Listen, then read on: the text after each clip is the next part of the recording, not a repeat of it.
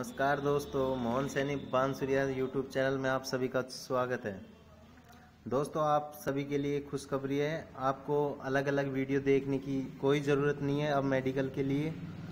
आप सभी के लिए एक ही वीडियो में आपके सारे डाउट क्लियर कर दिए जाएँगे।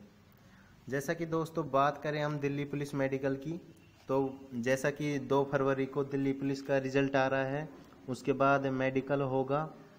तो मेडिकल के लिए आपको दो महीने का टाइम मिलेगा रिज़ल्ट के बाद में। तो चलते हैं, अपन बात करते हैं सबसे पहले कान की। तो दोस्तों देखते हैं कान में क्या होता है। तो दोस्तों जैसा कि आप देख रहे हो, कान में एक इस प्रकार की मशीन लगाई जाती है जो बिल्कुल अंदर तक जाती है। और कान के जो पर्दे वगैरह या कुछ कोई आंतरिक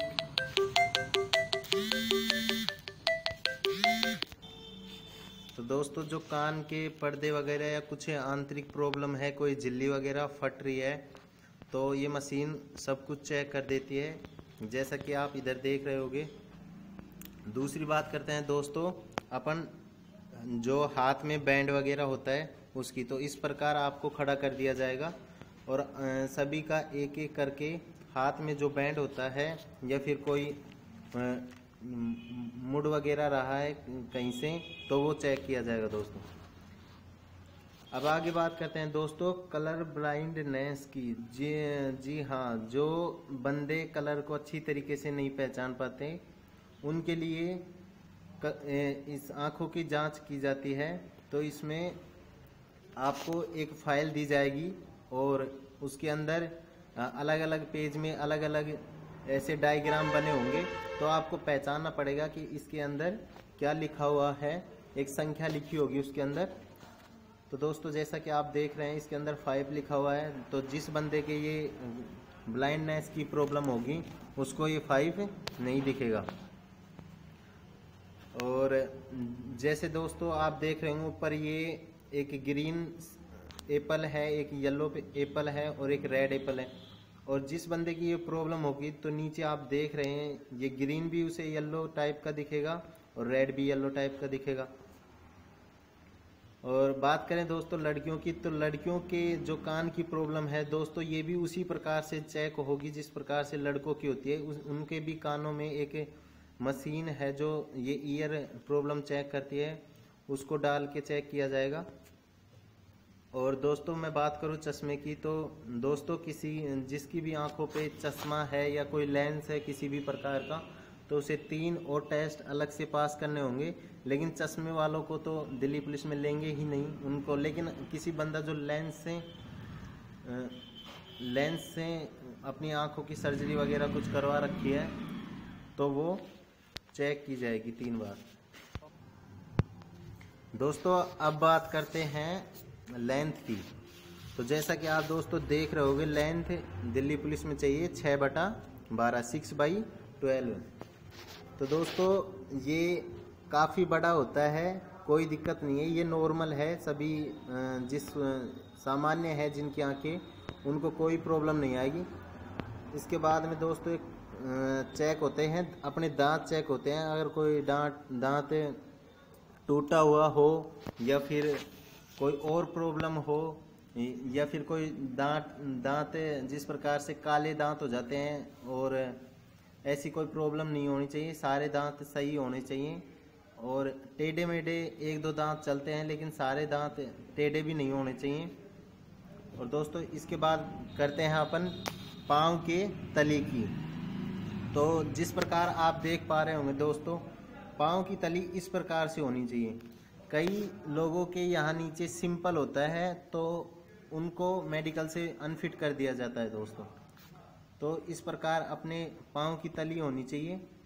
और दोस्तों, बात करें पैरों की तो जैसा कि आप देख रहे होंगे, कई दोस्तों के पैर शुरू में देख शुरू में दिया हुआ है, दोनों पैर मिले हुए हैं। बीच में जो है, वो नॉर्मल है।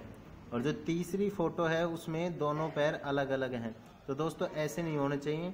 जो बीच में है नॉर्मल उस तरीके से दोनों पैर बिल्कुल सीधे होने चाहिए। और अगर इन पैरों की किसी को प्रॉब्लम है तो दोस्तों, अभी से अपना डॉक्टर की सलाह लें या फिर तकिया वगैरह लगा के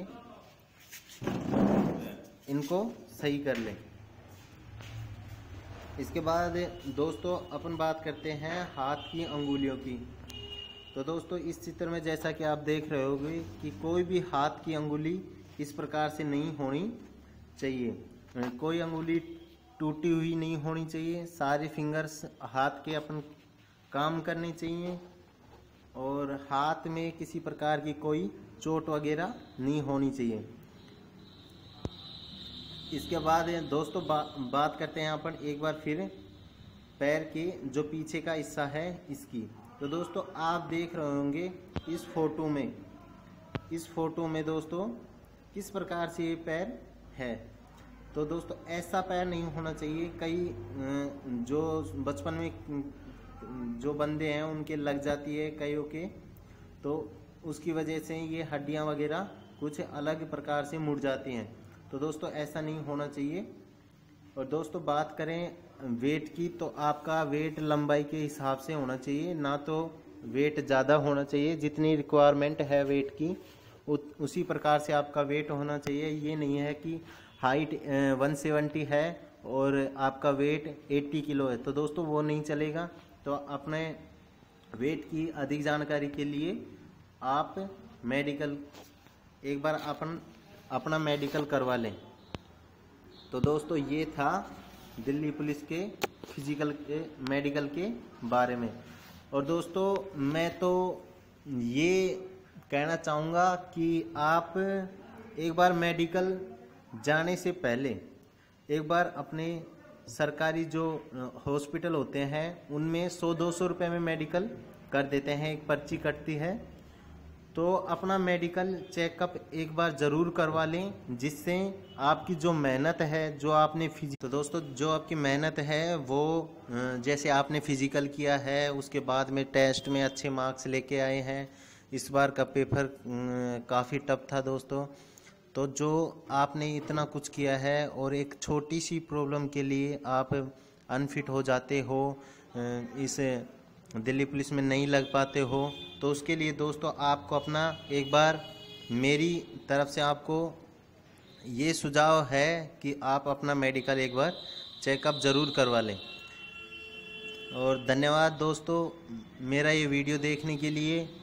मैं आशा करता हूँ कि मैंने जितनी जानकारी जुटाई थी, मैंने आपको काफ़ी कुछ बताया है। और ऐसे ही वीडियो आगे देखने के लिए मेरे चैनल को सब्सक्राइब कीजिए, वीडियो को लाइक कीजिए। दोस्तों, आपका एक लाइक ही हमें मोटिवेशन करता है और हमें आगे वीडियो इस प्रकार के बनाने के लिए प्रेरित करता है। तो दोस्तों, अपने दोस्तों को शेयर कीजिए वीडियो को और चैनल को ज़रूर सब्सक्राइब करें। आगे मैं ऐसे ही वीडियो आपके लिए लाता रहूँगा। धन्यवाद।